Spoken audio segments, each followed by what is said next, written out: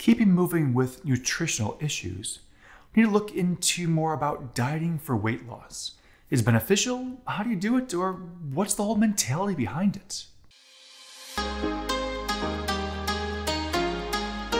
This is a huge industry because everyone's always worried about counting calories in, counting calories out, but it's not really that simple. The industry itself is currently sitting about a $75 billion industry every year. So we're talking about a huge amount of money. And what this is doing is promoting a diet culture where individuals feel the need to be on a diet, to be losing weight, to constantly keep losing weight. But do you need to be doing that? Is that the right mentality? Because really, most diets for weight loss, you just can't sustain them. They're not something you can do long term. And long term isn't a month, long term could be years. Because quite often, when someone has, for example, obesity treatments, in the long run, go we're talking years on the line, they actually cause an increase in weight. They're not going to maintain that lower weight. And this is a lot of times looking at the diets just aren't there. They've done meta analysis and clinical trials just looking at these long terms, and they're just not sustaining it, unfortunately. The entire cycle, this whole idea of let's lose weight. All right, we finish our diet and the weight goes up. Let's lose weight. Finished our diet and the weight goes up. This whole cycle just isn't really healthy in the body. Now, sure, some do succeed. They go through diets, lose weight, and they keep it off. But that's usually because of a lifestyle change, not just a change in what you eat. People that a lot of times are successful will change what they eat, but not think of it as a diet. Think of it as this is my lifestyle, this is what I want to be. Increasing activity as well, pairing those hand in hand. Because if you go back to the previous way you used to eat, the way you didn't feel well because you had too much fat, too much weight, that's going to usually change that and then go back to that weight again, unfortunately.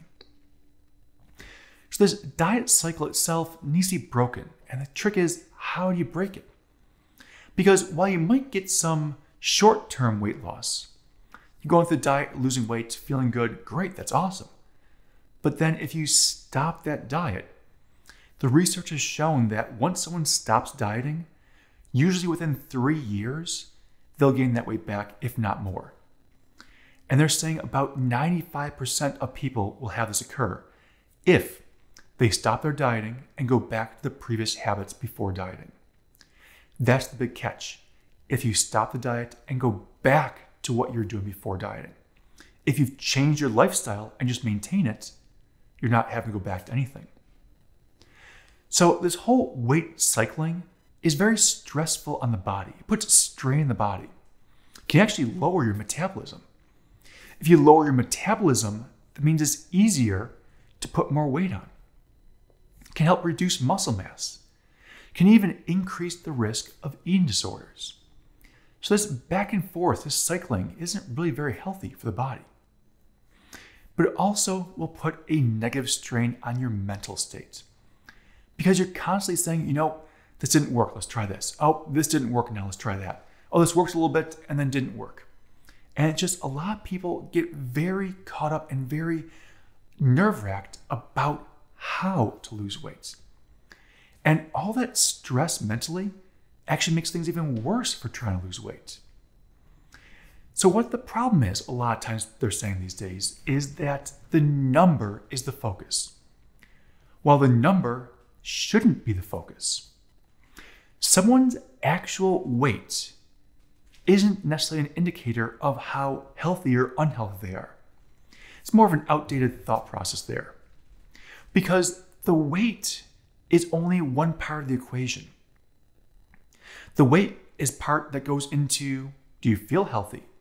How's your body functioning? Do you have energy? Because somebody that could be the same exact height, same exact age, same exact gender, but one person that weight might be very healthy, while the other person that weight might not be. One person has more muscle mass, one person has more fat mass. So, really, the number by itself can't tell the whole picture. That's why BMI isn't really a great way of trying to say, hey, you're in the obese category, BMI, or you're in the overweight category. Well, there are many individuals that are classified as overweight for BMI, and they're in peak physical health. They just have a lot of muscle mass on their bodies. And that muscle mass increases weight, which pushes them into the overweight category. Mean, if you look at professional athletes, how physically fit they are, but if you look at their weights in comparison to BMI, they're all overweight usually because they have so much muscle mass for those particular sports that need muscle mass. So, really, we got to do is kind of look at the whole picture. There are many different risk factors that aren't even associated with weight. Regular movement, regular activity. Are you sitting around all day? Just sitting on the couch or sitting in a chair or desk? If you're not up and moving around, at least somewhat, before work, after work, getting some movement in, that's not the most healthy for your cardiovascular health. So you might have a desk job, no worries, but maybe before work or after work. Go work out at the gym, go take a walk, do a bike ride, climb some flights of stairs, even park your car further away from where you work. Just something to get some extra steps and some extra movement in. Try to help out your physicality. There are different biomarkers to look at blood pressure, blood glucose, total cholesterol. You go in for an annual physical, a lot of times your doctor might be looking at these things and monitoring are there changes? Are they starting to increase blood glucose levels? Is your cholesterol creeping up? These are things that are based on what you eat, but also partially based on genetics you just can't change. Stress, inflammation are two more. Now, it's impossible to have zero stress. Your body, for that matter, actually needs some stress. But managing the stress is the trick. I wish there was one simple answer here's how you manage stress. But unfortunately, there isn't. Everyone needs to figure out how they manage stress. How do you keep your stress levels at a reasonable rate? How do you lower them if they get too high? What do you do if you get stressed out? Can you remove yourself from the situation? Can you take a walk, read a book, sing a song, play some music? What works for you to reduce and calm your stress levels? Maybe it's just meditation. Inflammation. Now, some individuals will have inflammation based on the foods they eat. Trying to figure out what foods those are so you don't have that is quite beneficial. Hormone balance. Well, if your hormones are all in balance, that's great. But if they're out of balance due to dietary intake, just due to things in life, due to age, that can also impact your health. Mental state. We could talk about this one for hours. But the idea is if you're in a good mental state, you have enough energy, you have enough nutrients to the brain that can really help with your overall health. Sleep. Some people only need four hours of sleep. Some people need seven or eight. Some people need 10 hours. Everyone has their own kind of set amount of how much sleep they need.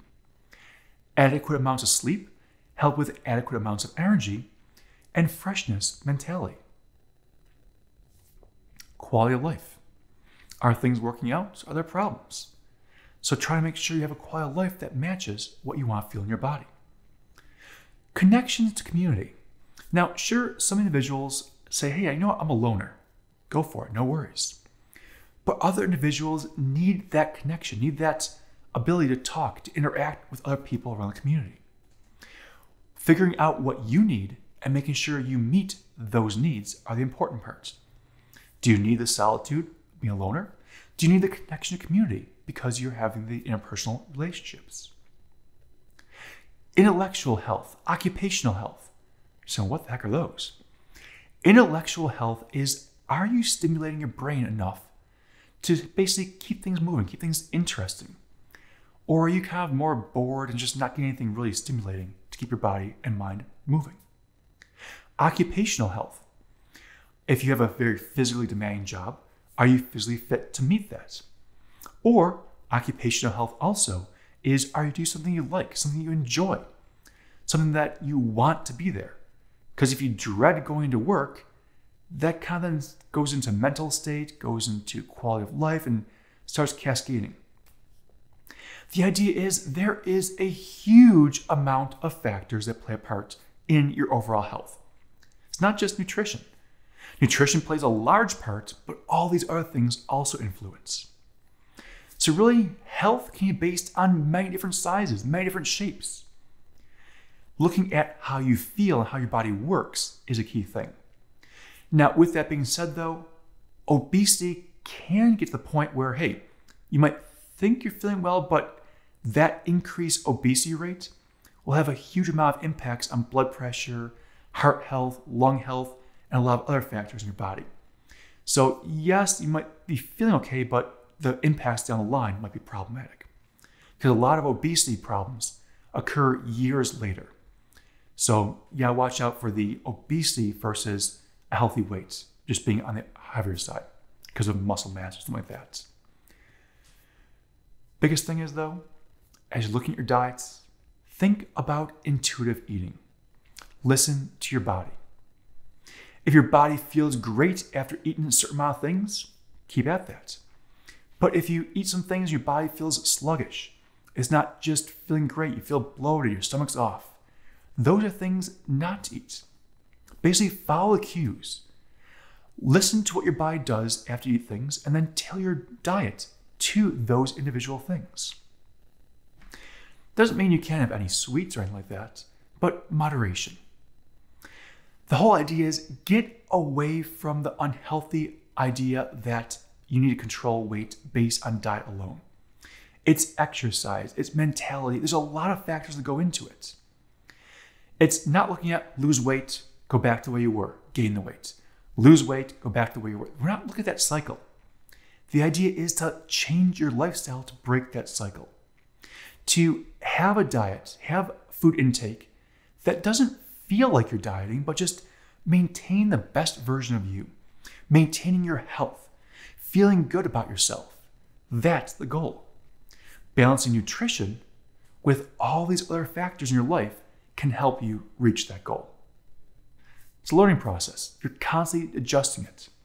Just keep at it is the key. Until the next video.